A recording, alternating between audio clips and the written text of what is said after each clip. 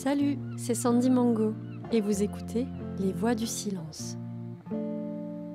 Ce podcast est un recueil de récits de vie réalisés lors de mes voyages et au fil des rencontres. Chaque être humain est l'artiste de sa vie. Y elle danse, illustre et improvise les œuvres qui composent son existence. Je vous invite à plonger avec moi au cœur de leurs pensées, à travers leur vision du monde, leurs espoirs et leurs rêves.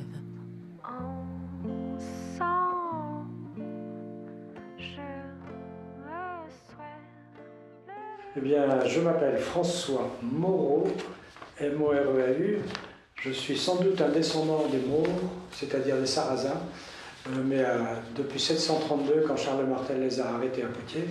je suis né à Poitiers, justement, et dans la région, euh, Poitiers, Charente et André-Loire, il y a beaucoup de gens dont le nom répond à cette appellation, à ce souvenir, quoi. Moreau, Morin, Bruno, Brunet, tout ça, c'est du pareil au même. Voilà, je m'appelle François parce que ma mère a choisi François comme prénom et dans la foi chrétienne, on se donne un patron, c'est-à-dire un exemple à suivre de saint.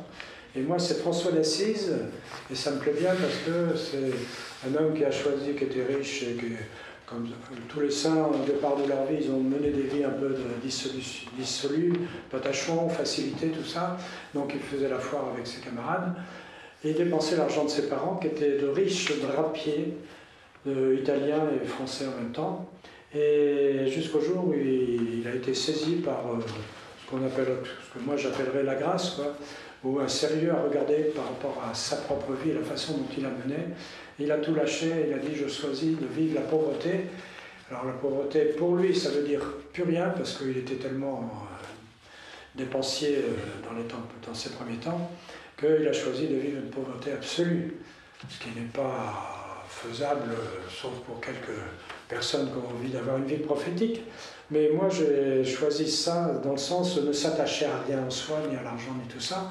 On se sert des choses qu'on a, c'est normal, et il faut en avoir pour faire quelque chose de bien avec. Voilà.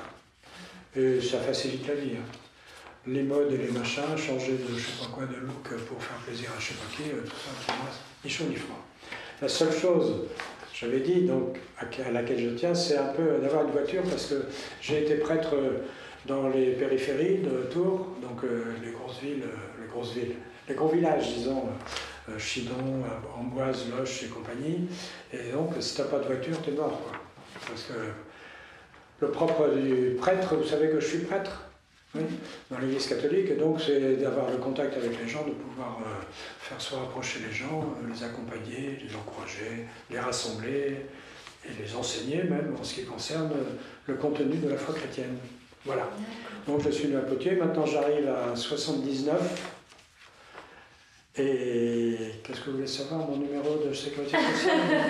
Non, mais donc je suis en Touraine tout le temps, parce qu'on appartient, quand on est ordonné prêtre, on appartient à un diocèse, et donc euh, l'évêque nous nomme à droite à gauche, mais en général en restant dans le. Voilà. Sauf si on était très intelligent et qu'on nous envoie faire des études à Paris, enseigner, je ne sais pas où, à Lyon, et des choses comme ça. Voilà. Merci. En termes de votre date de naissance, vous avez dit que vous avez approché les 79 Eh bien, faites une soustraction. En 1943, le 8 juillet 43. D'accord.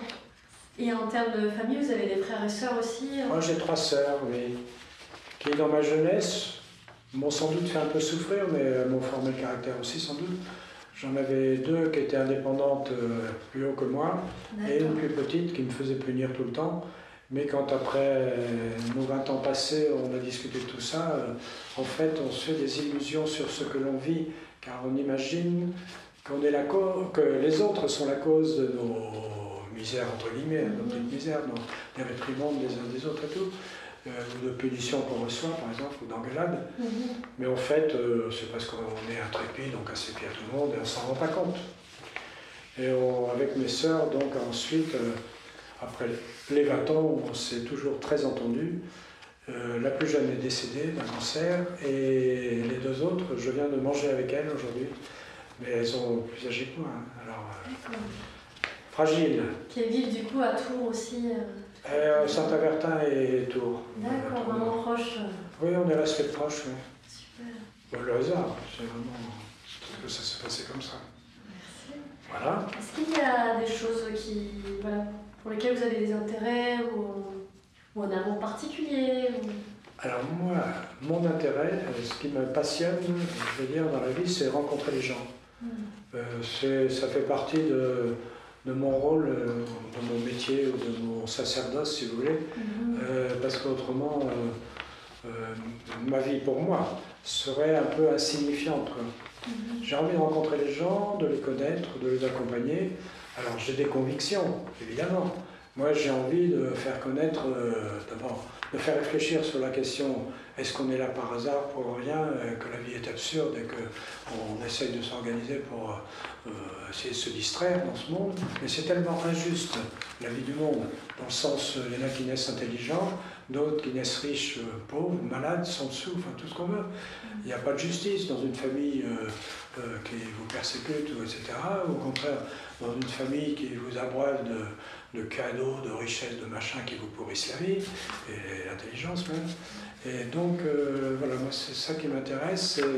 Alors la question, est-ce que d'où je viens, à quoi ça sert et où je vais, et quel sens a la vie, l'existence, qu'est-ce qui est important dans l'existence, et en second, euh, ben, celui qui est envoyé de Dieu, ce qu'on a que nous appelons Jésus-Christ, et qu'on appelle notre Sauveur, quoi, celui qui euh, déclenche euh, quelque chose de neuf dans notre existence, car on s'aperçoit que tous on est fragiles, nuls et mortels, et donc euh, qu'est-ce qui va nous sauver?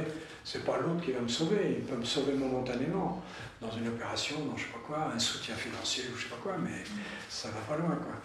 Alors un vrai salut, être vraiment sauvé se dire ma vie va quelque part, c'est-à-dire continue même au-delà de la, frontière de la mort physique, euh, qui est-ce qui veut me l'assurer, m'en donner la certitude et, comment faire pour euh, me préparer à cette éventualité? Voilà. Pour moi, c'est Jésus-Christ, qu'on va dire Fils de Dieu, enfin Dieu lui-même, quoi, qui s'incarne dans notre monde, dans notre humanité. Et que ça change tout.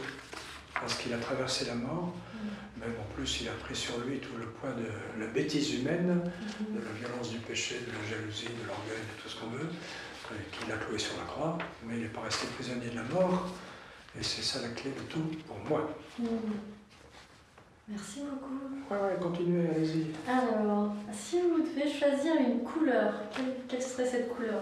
Moi, donc, quand j'étais petit, je choisissais vert, Vert. parce que c'est, pour- dans l'époque, c'était couleur de l'espérance, on disait ça, D'accord. et moi, bah, j'ai toujours été accroché à quelque chose au fond de moi, euh, mais le vert me plaisait sans doute un peu, parce qu'il y avait la nature derrière aussi, je pense. Le feuillage. Parce que moi, j'aime beaucoup la nature.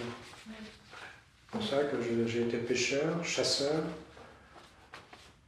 J'ai des abeilles, des ruches, quoi. Mais j'aime bien le jardinage, j'aime bien tout. Quoi. Tout ce qui est proche de la nature, j'aime bien. J'ai fait pas, de mar- pas mal de marches en montagne. Mhm. Euh. Le bateau, euh, un tout petit peu de bateau. euh, J'ai fait des, des de rivière en bateau. J'ai été à la pêche avec des pêcheurs professionnels, euh, modestes, modestes, au Pays Basque là-bas. Parce qu'à force de me voir pêcher sur le port, les pêcheurs du port, on fait connaissance et tout. Je les aidais à remonter leur bateau, tout ça. Je faisais partie un peu de la famille, comme je connaissais pas mal de Basques à l'époque. Il y en a qui m'ont proposé de partir avec eux. pour la, jour- pour la nuit, parce que c'est ils pêchent la nuit. hein. Et voilà, de revenir au petit matin, après avoir pêché quelques petits thons ou des, des- comment ça s'appelle, euh, des encornés là, des, des méduses, quoi. pas des méduses non plus, des... ah. Bon, enfin, c'est pas grave. Donc la couleur verte. Vous avez couleur un- verte, oui, mais le, le vert, vert foncé, vert clair ou Ah, là, trop, tous trop les verts. Non, non, pas des verres, euh, pas des verres vilains, euh, non, des verres. Et si vous devez choisir une odeur, Oh non, c'est trop compliqué. Euh, Une odeur, je sais pas. L'odeur Euh. du printemps, j'aime bien la mer, l'odeur de la mer, de l'iode. Euh, J'ai l'impression que c'est nul comme réponse. oh, le, vent marin quoi. L'odeur, le vent marin, oui, j'aime bien ça. L'odeur, l'odeur des fleurs, mais en général, quoi, pas. Voilà. Ok. Et si vous devez choisir une, une saveur ou un plat préféré, un goût Ah Le miel, j'aime beaucoup le miel parce qu'il y a, il y a pas 50 sortes de miel différents, mais peut-être, mais il y a vraiment des miels très différents qui, qui font plaisir. Quoi de pouvoir goûter euh, du châtaignier, de, la lavande, euh, je sais pas quoi, bah, du miel normal. Euh, même le miel blanc qui est un peu fadasse, mais qui finalement est très très fin. Le miel d'acacia aussi. Le tilleul, un seul tilleul, ça va vous embaumer machin. Ouais, le tilleul comme odeur, j'aime bien, par exemple. Ok. Par exemple. Vous avez goûté le miel de sarrasin? Ah non, ça n'existe pas. J'adore ça.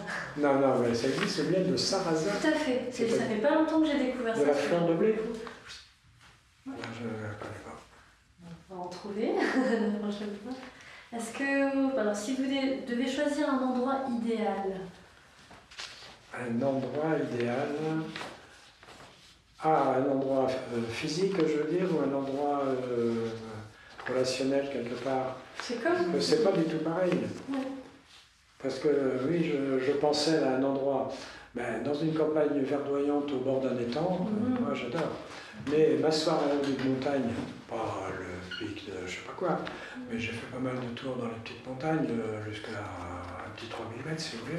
Mhm. Mais s'asseoir en haut, euh, vous montez pendant 2-3 heures et puis vous asseyez là haut, vous regardez en bas, vous dites tous ces petits bouts de machin là, toutes ces petites fourmis qui gigotent en bas, tout ça. S'ils se rendaient compte comme ils sont ridicules, ils sont comme euh, des petits trucs inutiles, quoi, des petits grains de sable, des petits machins de ça, et j'en fais partie aussi. Mm. Mais justement, la capacité qu'on a, c'est de pouvoir. Donc en montagne, ou bien quand je vais au bord de la mer, m'asseoir euh, sur la dune, sur le machin, puis contempler euh, l'espace, la mer, les vagues et tout, j'adore aussi. C'est un, un, peu du luxe. Mais par contre, j'aime pas la foule bête et méchante. Mm. Mais ce que je veux dire dans l'autre aspect, c'est euh, j'aime bien être au milieu de gens que j'aime bien, que je connais, même si euh, je ne prends pas forcément la parole, si j'ai rien à dire particulièrement, mais les voir, les écouter, euh, me réjouir avec eux, je suis content. D'être bien entouré aussi. Oui, absolument. Petite réunion de famille, j'aime bien, mais moi je ne suis pas le caïd là-dedans. je ne suis pas le héros qui va faire des discours, qui va mm. attirer l'attention à moi, tout ça. Mais plus on est, moins je parle. Mm. Si on est comme là, là, trois ou demi-douzaine, je suis capable de parler beaucoup plus, si on m'interroge. Oui, d'accord. Euh, il y a la question justement de, de cet objet. Tout à l'heure, vous m'avez parlé justement de, du sport ou de la voiture. Ouais, que... parce que les petits objets, j'en ai rien à fiche, moi. Pour moi, un objet, vous, l'artiste, ça va vous faire euh, machin, mais pour moi, un objet, c'est quelque chose qui est utile à quelque chose. Hmm. Alors, la beauté, euh, un diamant, pour moi, ça ne veut rien dire. Hmm. C'est complètement aberrant. Il y a eu un marché pour ça, et donc le, prix est monté. Pourquoi, Pourquoi? Parce que ça va, c'est nul. pour moi, c'est nul. Euh, qu'est-ce que je pourrais dire? Non, mais Par exemple, la voiture, comme vous disiez tout à l'heure, ah, bah, c'était assez important. Un moyen de rencontre pour pouvoir avoir un espace de liberté, une possibilité de liberté pour circuler un peu. Oui. Mais dans les temps anciens, euh, j'aurais peut-être eu une, mobilette. D'ailleurs, j'ai eu un moment une mobilette, mais j'aurais peut-être eu euh, un pitane pour me promener, pour aller les espaces étant moins, moins développés. Mhm. Parce qu'après, quand on est prêtre à cette époque, il faut toujours faire des kilomètres et des kilomètres quand on est à la campagne. D'accord. Euh, prochaine question, y a-t-il des choses qui vous révoltent dans ce monde? Oh là là Ah là là La bêtise humaine d'abord. L'orgueil euh, des personnes qui croient que ce qu'ils imaginent pour leur vie est la vérité. Et bah, voilà. Donc ils s'enferment dans leur bulle pour avoir la paix et en même temps pour. Quoi. Et puis il y a ça, puis le, manque de bienveillance des personnes les unes par rapport aux autres. Parce que moi j'entends ça tous les jours. Vous avez expliqué ce que je fais? Non? Oui? Ah. Non? Parce que moi j'entends les gens qui viennent me voir pour, euh, comme un intermédiaire avec Dieu et qu'on appelle un sacrement, le sacrement du pardon. Donc des gens qui réfléchissent à leur vie et qui se disent, euh, par rapport à ce que je crois que Dieu attend de moi, je pourrais faire mieux, donc je reconnais que je suis pécheur parce que j'ai brimé ceci, j'ai volé cela, ou j'ai tapé sur l'autre, ou j'ai souvent dit du mal des gens, jugé négativement des personnes et tout.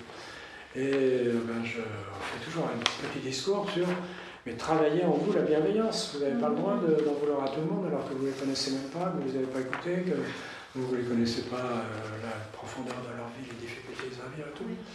Donc la bienveillance pour moi c'est quelque chose de très important. Puis alors le pire c'est ce qu'on vit en ce moment et qu'on vit dans tous les coins du monde pour des raisons qui sont uniques, malhonnêtes et tout ce qu'on veut, euh, c'est la violence, la guerre, et pour des raisons qui sont nulles. C'est vouloir s'accaparer toujours le bien des autres, le territoire des autres, comme si on n'avait pas assez grand, mm. et le refus de dialoguer euh, les uns avec les autres pour essayer de réellement trouver un moyen de vivre fraternellement. Si je suis prêtre aujourd'hui, moi, c'est parce que dans mon cœur, depuis toujours, je voulais une vraie fraternité entre les personnes. Et j'ai vécu ça dans les milieux de vie où j'ai été, donc euh, les collèges, lycées, machin, tout ça. Euh, c'était ma première priorité, si vous voulez. Les études, j'ai jamais été hyper doué pour les études, j'ai fait ce que je devais faire euh, comme je pouvais avec mes petits moyens, mais qu'on s'entende tous là et que moi ça m'a toujours euh, intéressé, passionné. Ça n'empêche pas que j'ai un caractère qui n'est pas toujours très rigolo à vivre, peut-être pour les autres. dans le sens où je, je m'énerve facilement, je réplique sans réfléchir des choses qui sont peut-être agressives, etc. Bon, mais ça, je me le pardonne, je me demande pardon aussi pour ça. Mais euh, en fait, quand les gens me connaissent au bout de trois mois, ils savent que je n'ai pas de méchanceté derrière moi. Même derrière des, des sursauts de, de, caractère ou je sais pas quoi, je sais pas. en fait, en même temps, ça leur fait du bien de se faire secouer un peu, hein, les autres. Moi aussi, ça m'arrive de me faire secouer. Hein. Et ça m'interpelle toujours beaucoup d'ailleurs. Si mm. quelqu'un me, fait une répartie violente euh, euh, qui me pique, euh, ça me fait du bien. Mm. Mais il ne faut pas trop, parce qu'après on désespère, on se dit, mais les gens ne me supportent pas, comment ça se fait, pourquoi? Et en fait, ça brise aussi la possibilité d'avoir une parole qui soit efficace, dans le mm. sens où elle va apporter du fruit peut-être si quelqu'un écoute ce qu'on essaye de dire.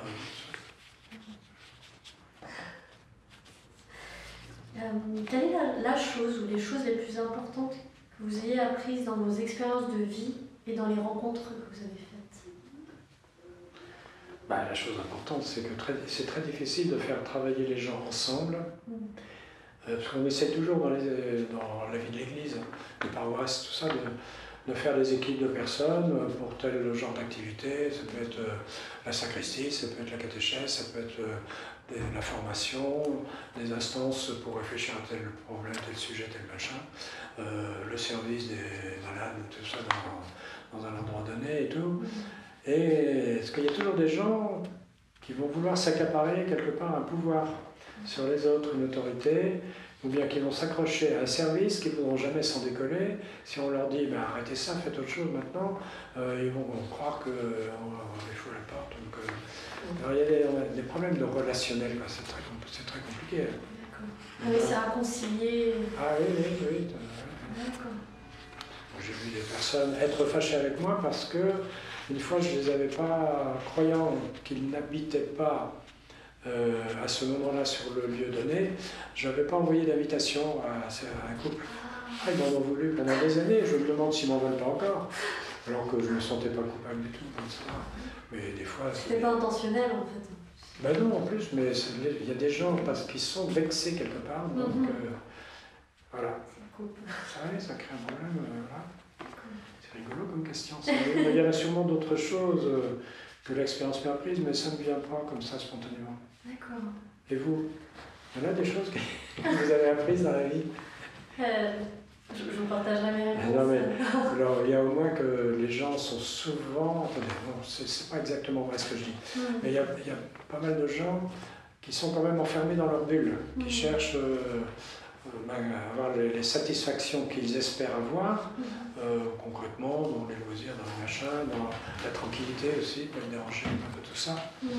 Euh, il y a ce genre de gens-là, mais il y a aussi en, face beaucoup de gens qui sont disponibles, disponibles aussi vraiment pour des services, pour des machins. dans le journal d'aujourd'hui, il y avait encore une équipe de personnes là, que je connais qui sont engagées pour l'accueil des, étrangers qui viennent en France, mhm. euh, avec papier, sans papier, tout ça. Et là, il y a un article évidemment pour l'Ukraine. Et donc ils se démènent là pour, euh, avec leurs camarades pour euh, trouver un système. puis on voit aussi que même dans les communes, le maire fait un appel, il y a plein de gens qui répondent, c'est formidable. Pour même mettre à leur disposition une pièce chez eux, qu'un appartement disponible, un machin comme ça. Ça, je trouve ça génial. Et c'est parce qu'on est tous violentés par cette espèce de guerre injuste. Et on trouve ça mhm. tellement injuste qu'on prend pitié. Hein. On dit, mais comment ces pauvres familles qui subissent tout ça, c'est effrayant, c'est effrayant. Mhm. En plus, ils se séparent, car les hommes restent pour combattre, pour essayer de freiner euh, les abrutis, là. Et la, femme et les enfants partent euh, au hasard, en espérant que quelqu'un euh, va pouvoir les accueillir quelque part. C'est incroyable ça. Bon, dans les siècles anciens, il y a toujours eu euh, Attila et toute la bande, les Visigoths, les Ostrogoths, les Vandales, les je sais plus quoi, etc., etc. Il y a eu aussi euh, nous, quoi, euh, les Occidentaux, quand on s'est barré en Amérique, qu'on a massacré les Indiens, les Incas et tout ce qu'on veut pour s'enrichir sur leur dos. Nous-mêmes, en Afrique, on n'a pas été clair partout sans doute, etc. C'est très compliqué, mais il y a les époques où on peut se dire, après coup, hein, mhm. qu'il pouvait y avoir des choses qui se justifiaient. On découvrait un monde, on était machin. Mais maintenant qu'on sait tout, qu'on connaît tout, que Internet, les, satellites qui nous surveillent, etc. etc. Mais, franchement, il faudrait trouver d'autres méthodes. voilà. Puis le pouvoir de l'argent mhm. me, me traumatise quelque part. J'ai jamais manqué d'argent. Mais j'ai jamais vécu dans le superflu non plus. Mais j'ai toujours eu ce qu'il fallait, personnellement. Grâce aussi à ma grand-mère qui avait fait des économies pendant la guerre pour euh, subvenir, elle gardait tout, tout, tout, les moindres petits machins, tout ça. Et donc quand elle est morte, bah, les petits-enfants, on a eu un petit, un petit pécule. Bon, c'est bien, mais j'ai vécu un peu avec ça. C'est grâce à ça que j'ai pu changer de voiture euh, de temps en temps. Mmh. J'aurais pu gaspiller cet argent. Hein. Euh, venir aller comment on appelle ça là-bas, en Espagne, là, l'île là où ils font, ils picolent comme des cinglés, là. Euh, on se voit, aller gaspiller euh, mes sous dans des vacances. Euh, ici, l'île que tout le monde connaît. En face de Barcelone, là, par là. Ah, Mallorca ou ouais, Ibiza, c'est ça? Ibiza, Ibiza. D'accord. J'ai vu ça à la télé, hein. euh, Est-ce qu'il y a des choses qui vous redonnent espoir justement dans ce monde Oui, justement, c'est tous les gens de bonne volonté qui n'ont pas forcément, euh, comment dire, une. Euh, comment je pourrais dire C'est pas forcément la foi, une foi en un Dieu, en machin, quelqu'un qui donne des ordres euh, d'en haut pour aller, faites ceci, faites cela et tout. Mais des gens euh, comme ça, du tout venant, qui ont un cœur ouvert mm. à leurs frères et qui sont compatissants à la vie des voisins, qui sont bienveillants pour tout le monde et qui se bougent mm. pour faire euh, des associations, par exemple, ou même dans un quartier. Hein. Moi, j'ai une de mes sœurs, celle qui a déjà mangé aujourd'hui, elle connaît tous les gens de son quartier, alors elle a, 80 ans. Hein. Mais euh, elle continue, alors elle fait les courses pour les uns. Quand, il y a eu le Covid, elle courait partout avec sa petite voiture euh, pour faire les courses pour la grand-mère d'à côté, pour le machin. Il y a une qui est devenue veuve, alors elle l'invite à manger de temps en temps. Elle est copine avec tout le monde, quoi, si vous voulez. Et ça fait une espèce de club local euh, où il y a je ne sais pas combien, 10, 15 personnes. qui se retrouvent par petits paquets de temps en temps. Une de solidarité. Oui, une solidarité simple accessible à tout le monde. Alors, il y a plein de gens comme ça, je pense, j'espère en tout cas. Mm. Il y a ceux qui sont organisés, comme euh, Welcome par exemple, ou n'importe quoi, euh, ceux qui font un tour, euh, le, le casse-côte là à midi, rue Fépote, la table de Jeanne-Marie, je connais la moitié là-dedans, parce que c'est venu l'origine de la paroisse d'en haut où j'étais là. Mm.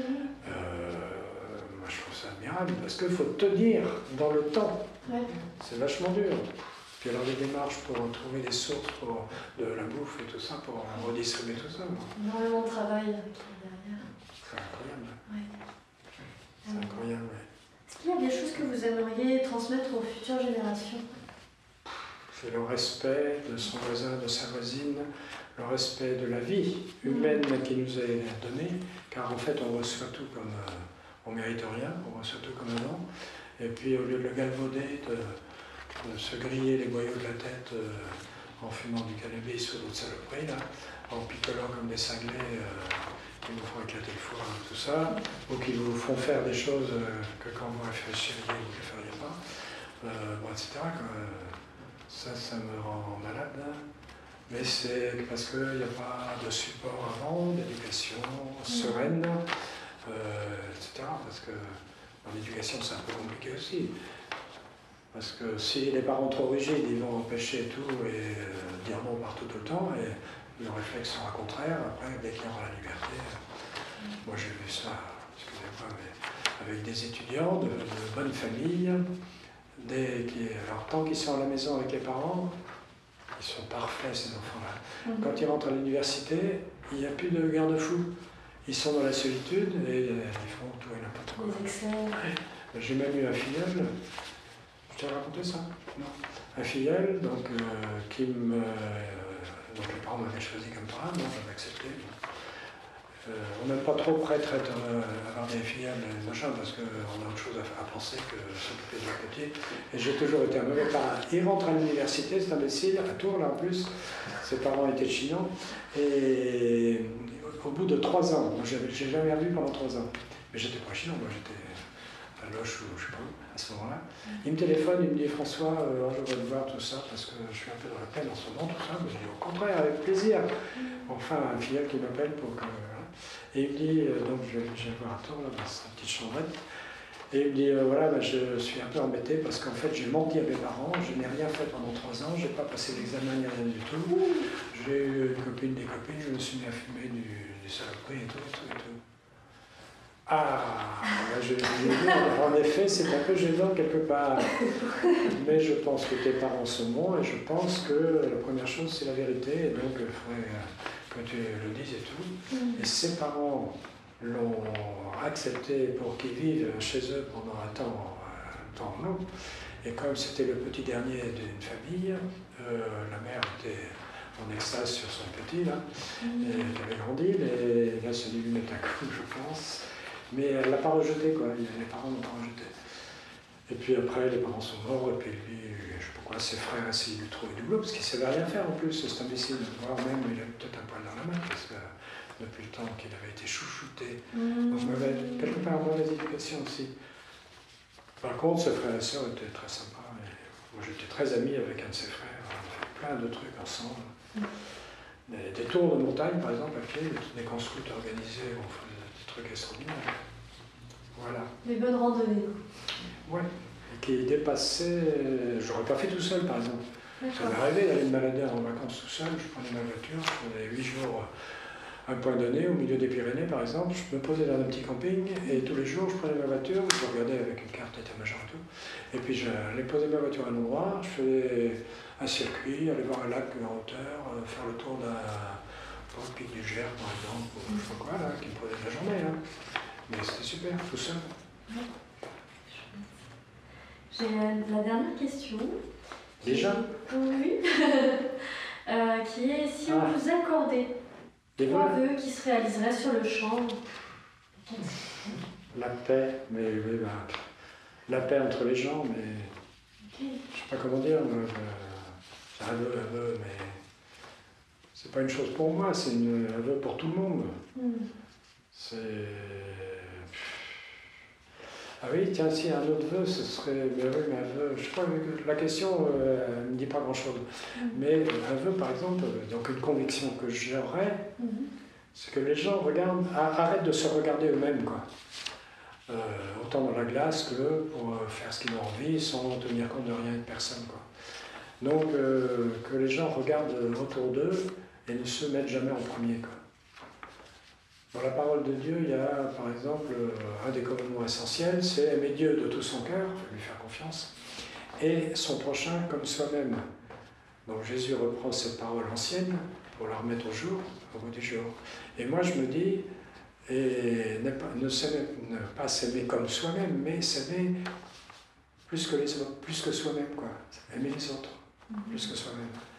Parce que, euh, en fait, on est, je pense que dans la foi chrétienne, on est amené à monter plus haut, pas à rester à notre niveau humain, on cherche toujours son bénéfice, son plaisir, son machin, tout ça, ou l'orgueil nous pousse à avoir un pouvoir sur les autres, une domination, euh, voilà. Mais plutôt à essayer de se tourner vers les autres euh, en s'oubliant soi-même.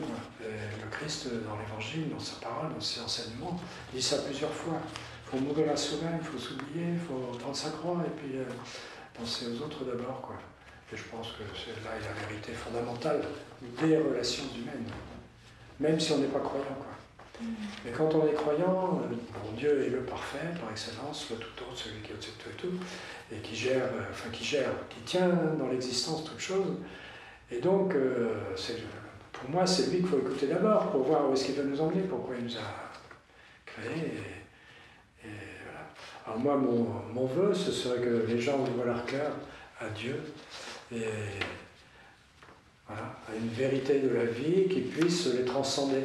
Quand je dis vérité d'existence, ça ne veut pas dire avoir des règles qui, nous emmerdent, qui nous euh, confinent dans un espèce d'enfer, enfermement. Quoi, mm-hmm. Non, c'est pas ça ce que je veux dire. C'est pour trouver une vraie liberté, plutôt. Et pour moi, la vraie liberté, avec l'intelligence qu'on nous a donnée, ce qui est unique, euh, possibilité de faire des choix, ce serait de réfléchir réellement à l'existence, aux choses de, la vie, au rapport entre les hommes, etc. Qu'est-ce qui conditionne nos rapports, etc., euh, etc. Et de pouvoir, en fin de compte, faire un choix qui soit un choix le meilleur, c'est-à-dire choisir ce qui est juste, ce qui est vrai, ce qui est beau, même si ça, coûte, ça me coûte quelque chose, parce que mm-hmm. Si je veux céder ma fortune aux autres, ça va me coûter quelque chose, parce que je vais me retrouver sans rien, par exemple. Mais c'est pas grave, parce que si c'est ma conviction, et si je pense que c'est pour une chose bonne, ce sera bien. Et il y aura toujours quelqu'un d'autre qui me viendra en aide, de toute façon. Avec ce principe. C'est pas vraiment le principe du monde, quoi. Chacun veut ramener à soi. Mm. Alors il y a des problèmes avec euh, le gaz, avec le pétrole, avec euh, tout ça, l'électricité, tout et tout on nous fait des bagnoles électriques, mais euh, où est-ce qu'on va trouver de l'électricité à mettre dedans?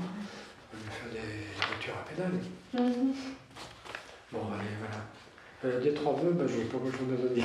Je vous avais dit combien Il y en a deux, et là il en reste un troisième.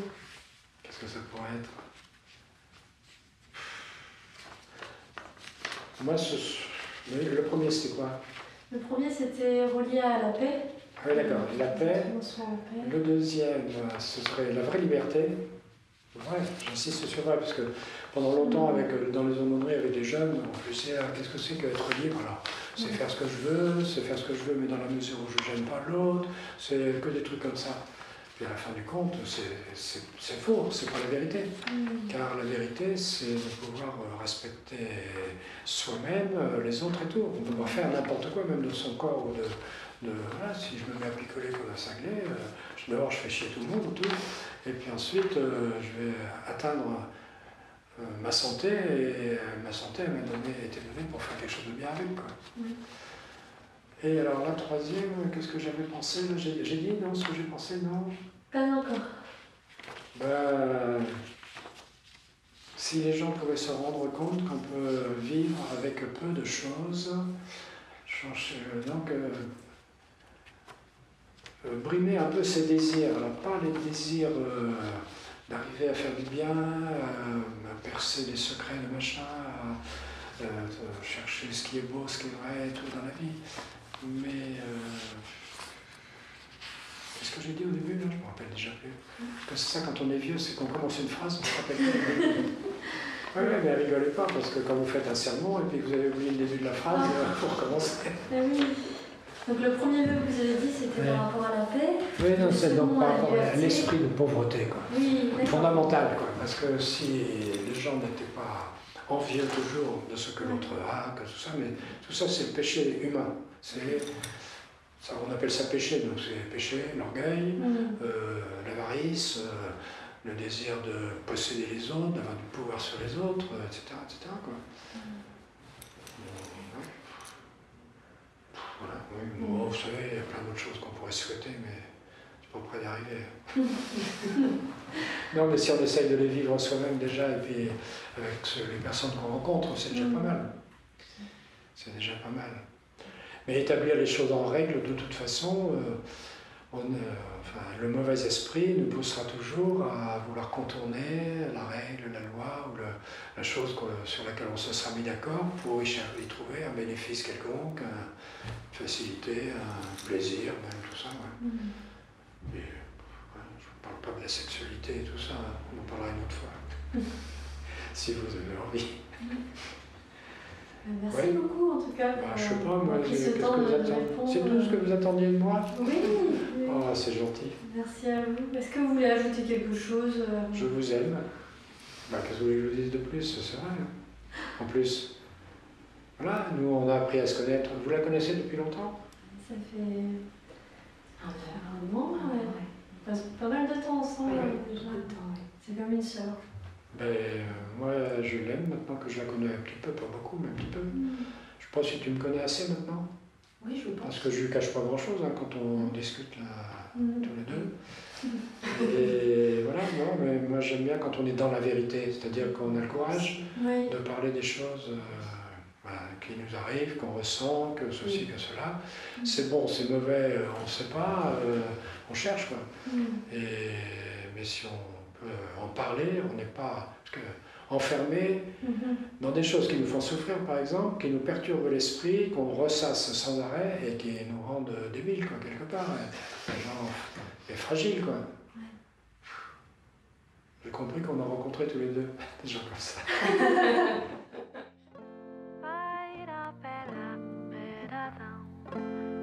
Ainsi s'achève cet épisode. J'espère qu'il vous aura plu. Retrouvez chaque semaine sur cette chaîne d'autres voix.